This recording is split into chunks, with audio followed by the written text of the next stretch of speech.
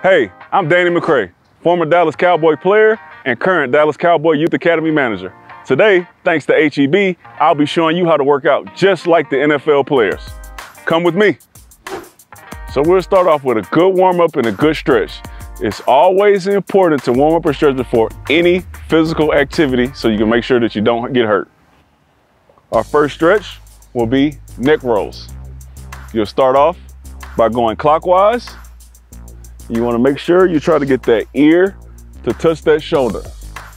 Get a deep stretch in that neck, and then you reverse, going counterclockwise.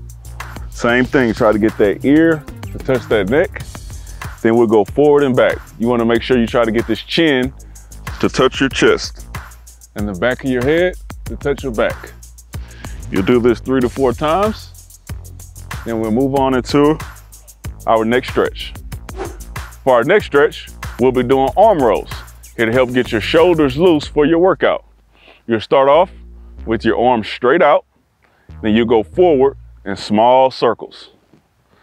After about three circles, you'll widen them out a little bit.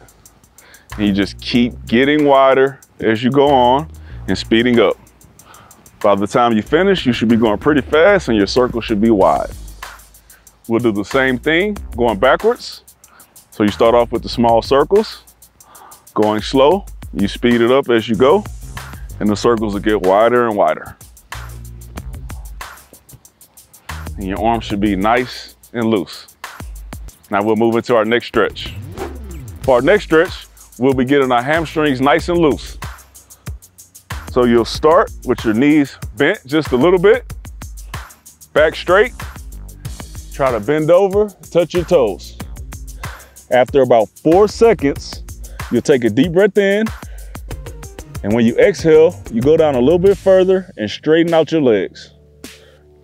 You wanna hold this stretch for a full eight count. Now we'll move into our next movement. For our next movement, we'll be getting our heart rate up. We'll be doing that by doing high knees. To do the high knee, you wanna make sure that every time you pick your knee up, it goes up to 90 degrees. We'll be doing this for a 20 count. Now, every time your knee goes up and down, that's one. So we'll try it out.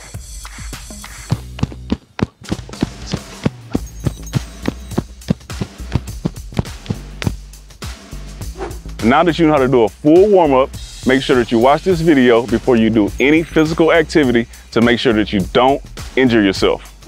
Thanks to HEB, we'll have a few more videos showing you how NFL players work out. Thanks for tuning in.